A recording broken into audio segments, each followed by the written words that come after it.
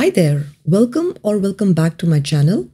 We will explore an important algorithm today, which is the depth first search.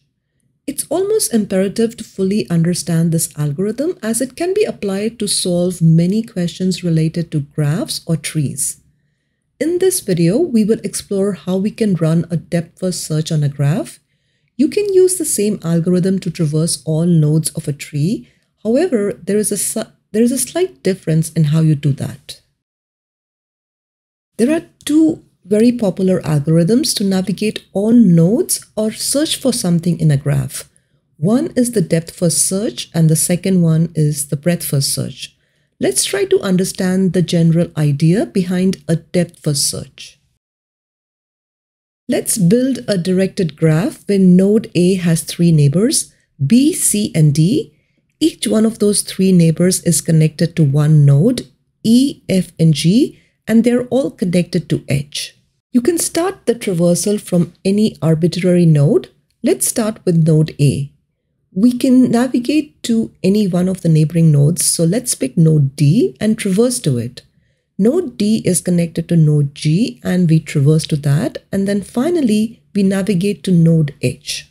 The algorithm then backtracks to the source node A selects one of its neighbors that has yet to be discovered or explored, and then traverses to that node.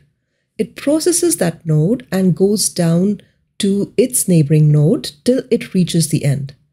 It backtracks once again and traverses to the last neighboring node B, and exactly it navigates till it reaches the last node H. You can see that all the nodes have been explored, so that's a higher level view of how we can traverse a graph using depth first search. Let's check out the breadth first search algorithm and review what the traversal looks like at a higher level. Here also you can start from any arbitrary node. Let's start from node A. So the first thing we do is explore all its neighbors. After that, the traversal moves on to the next level or layer of neighbors till it reaches the end. The traversal in the case of breadth first search is layer by layer, or you could also say level by level. On the other hand, a depth first search explores as deeply as possible along each path before backtracking to explore other paths. Depth first search is mostly implemented using recursion, whereas a breadth first search is implemented using a queue data structure. The obvious question here is when do we use a breadth first versus a depth first search. Breadth first search is often used to find the shortest path. That's because breadth first search is guaranteed to find the shortest path in an unweighted graph. After all, as you just saw in the animation, it explores all nodes at a given distance before, before moving to nodes at a greater distance.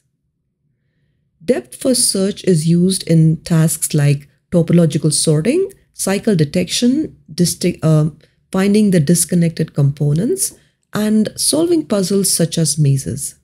One good example of depth first search is the problem of number of islands, and I have linked the video in the description. Please also make sure to check out my video in the algorithms playlist where I have explored the breadth first search algorithm in greater detail. So here is another graph and we will examine the progress of depth first search algorithm on it. Our goal here is to run DFS on all nodes. And notice that all the nodes in the graph are not connected, but it still constitutes a graph. You can use the same algorithm to search for something in a graph, but the search returns as soon as we find the matching node. And uh, whereas when we are exploring, we run the DFS on all the nodes. The gray color over here indicates that this node has not been discovered during the traversal. Once the node is discovered, the color changes to orange. Now, what does a node being discovered mean? It means that we have reached a particular node in our navigation process, but we haven't explored all the possible paths originating from that node. Once we have examined all paths originating from that node, we say that the node has been explored and the color changes to green. What I'm showing here is a directed graph, but the same algorithm applies to an undirected graph as well. An important thing to remember here is that we navigate to a node only if its color is gray or is undiscovered. If it is discovered or has been explored already, we skip it. We'll start with node A. Node A is now discovered, so we'll change the color to orange. It has two neighbors B and C. We could navigate to either one of them. So let's uh, pick node B. From node B, we could go to either node D or E. So we'll select node D. And then from node, node D, we will traverse to node C. Now from node C, we can traverse to node B, but node B is already discovered, so we do not navigate to it. I'm going to change the arrow to a dotted line to indicate that we are skipping it. There is nowhere else to travel to from node C, so we start backtracking. The color of node C changes to green to indicate that this node has been explored. We backtrack to D and, and then to B.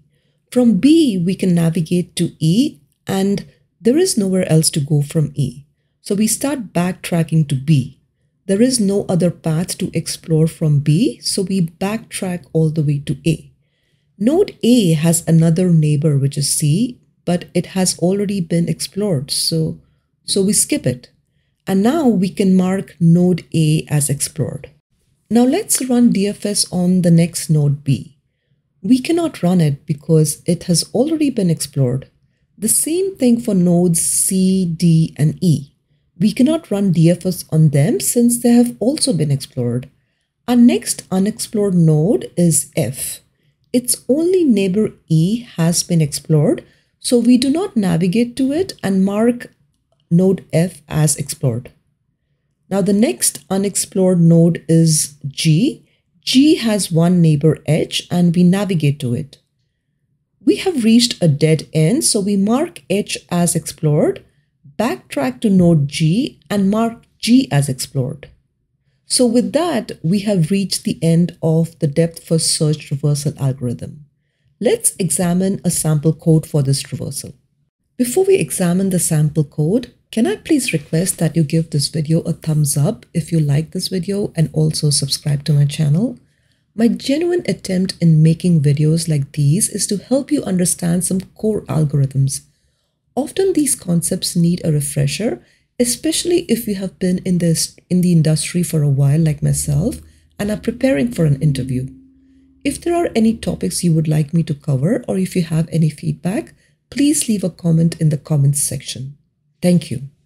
So this graph here can be represented as an adjacency list where each node is a key and its value is a list of neighbors.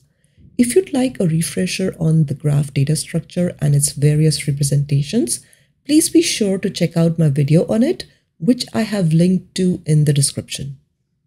Let's go over the sample code. I have declared a set called explored to keep track of the nodes we have either discovered or explored. It will prevent us from navigating to the same node multiple times and will avoid the formation of a cycle. So this is no different than coloring the nodes orange or green. That was done for pictorial representation and understanding of where we are in the traversal process.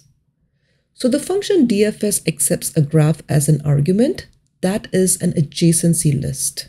For each node in the graph, we'll run a DFS visit on it only if it's not already been added to the explored set. The first thing we do in the DFS visit function is to add the node to the set. And then for each neighbor of that node in the graph, we run DFS visit on it recursively only if it does not exist in the explored set. Finally, we print the explored set and the output contains all the nodes that we have explored in the graph. I have included a GitHub link to this code in the description. Please do try it out to solidify your understanding further. So let's uh, go over the time and space complexity. Let's say V represents the number of vertices and E represents the number of edges in the graph. The time complexity of DFS is O of V plus E because we are pretty much traversing through all the nodes and edges. And, and since we are recursively running DFS on each vertex, the space occupied by the function call stack will be O of V, where V represents the number of vertices in the graph. So that's it for this video. Please do check out the video on topological sort in the playlist as that's a great use of the depth first search algorithm. I look forward to seeing you in my next video. Thank you and goodbye.